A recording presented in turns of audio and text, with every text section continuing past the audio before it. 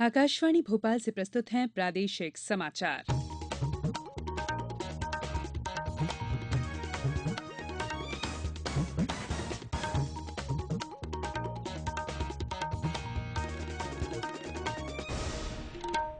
नमस्कार समाचारों के साथ मैं संयुक्ता बैनर्जी। पहले मुख्य समाचार।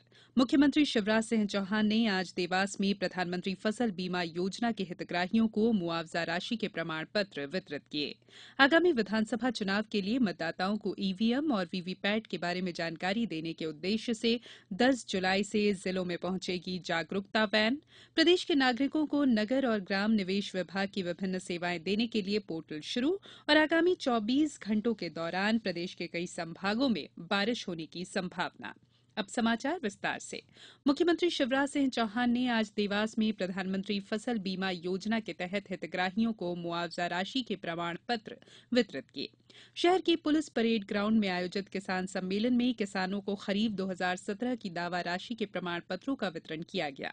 मुख्यमंत्री ने ज़िले के एक लाख छह हज़ार किसानों को पाँच करोड़ रुपए की दावा राशि के भुगतान प्रमाण पत्रों के वितरण कार्य का शुभारंभ किया। इस मौके पर श्री चौहान ने कहा कि ये सरकार गरीबों और किसानों की सरकार है।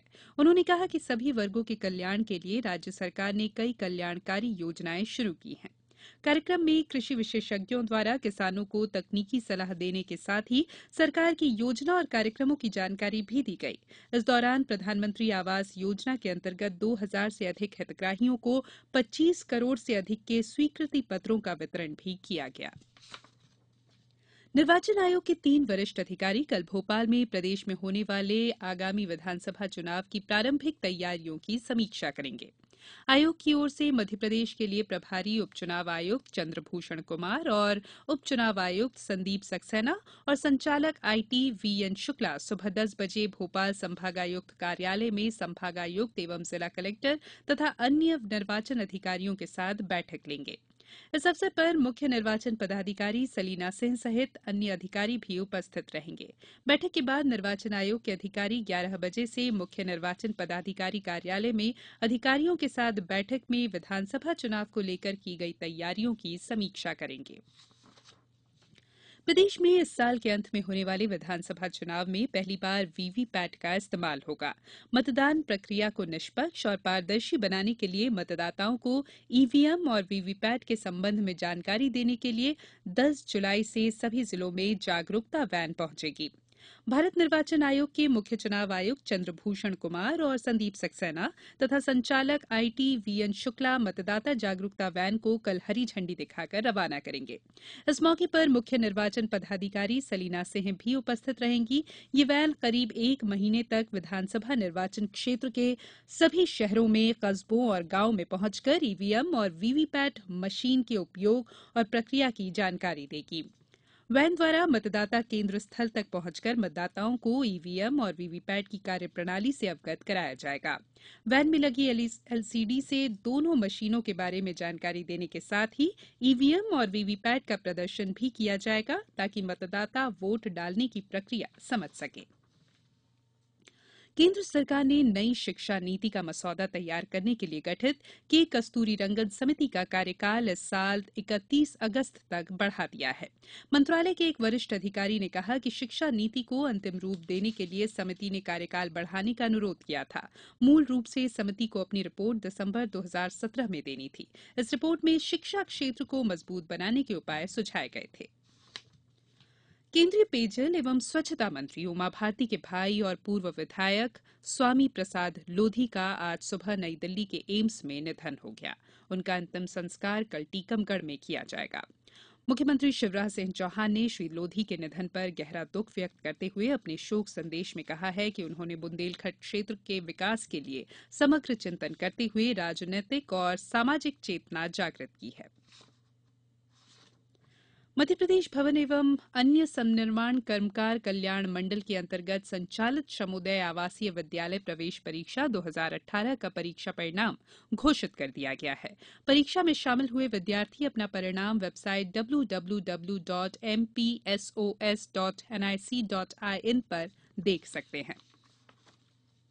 प्रादेशिक समाचार आकाशवाणी भोपाल से प्रसारित किए जा रहे हैं। ताज़ा समाचार जानने के लिए आप हमारी website news on A I R dot N I C dot I in पर लॉग इन करें। इसके अलावा प्रादेशिक समाचार बुलेटिन, यूट्यूब, ट्विटर और फेसबुक पर A I R news Bhopal page पर भी सुने जा सकते हैं। प्रदेश के लोगों को नगर और ग्राम निवेश विभाग की विभिन्न सेवाएँ ऑनलाइन देने के लिए पोर्टल शुरू किया गया है। सुशासन की दिशा में संचालनालय, नगर और ग्राम निवेश द्वारा एनआईसी भोपाल के माध्यम से शुरू किए गए इस पोर्टल से लोगों को मास्टर प्लान, जीआईएस मैप पर उपलब्ध हो सकेगा। इससे नागरिक अपनी भूमि के सर्वे, नंबर के भूमि उपयोग भी आसानी से जान सकेंगे। इसके अलावा भूमि उपयोग प्रमाण पत्र लेआउट अनुमति के लिए ऑनलाइन आवेदन और साइबर ट्रेजरी के माध्यम से ऑनलाइन भुगतान कर निर्धारित समय सीमा में ये सेवाएँ प्राप्त कर सकेंगे।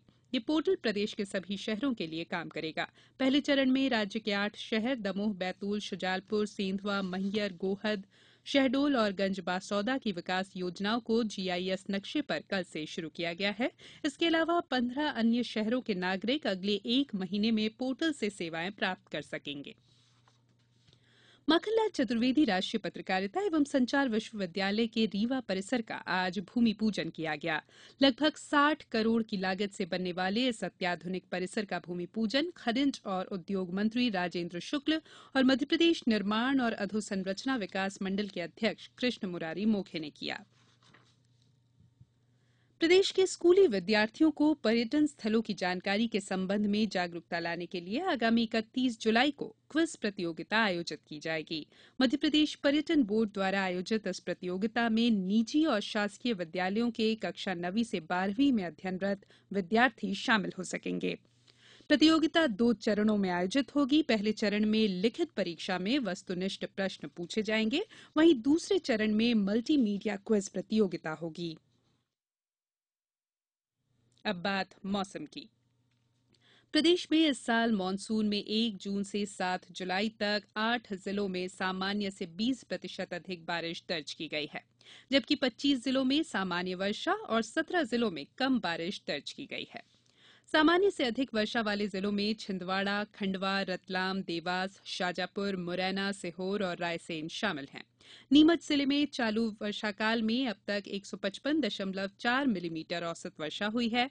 वहीं राजगढ़ ज़िले में एक सौ उनहत्तर मिलीमीटर औसत बारिश दर्ज की गई है।